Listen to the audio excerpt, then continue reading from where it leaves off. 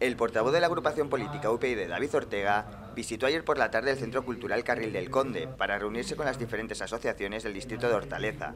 Hortaleza es un distrito muy heterogéneo, eh, donde hay muchas zonas nuevas y zonas menos nuevas, que tienen problemas con los polideportivos, con distintos eh, polideportivos como el Luis Aragonés, como el de los Prunos, y, nuestra propuesta es sobre todo, más que trabajar por el deporte espectáculo estilo Olimpiadas, eh, trabajar y invertir en el deporte base y en las instalaciones básicas, que es donde está la calidad de vida de, los mareleños. Eso es Unión, Progreso y Democracia, muy cercanos, los vocales vecinos trabajando, como siempre, y escuchar a los mareleños y que haya cercanía. Eso es lo que buscamos eh, básicamente con estas reuniones.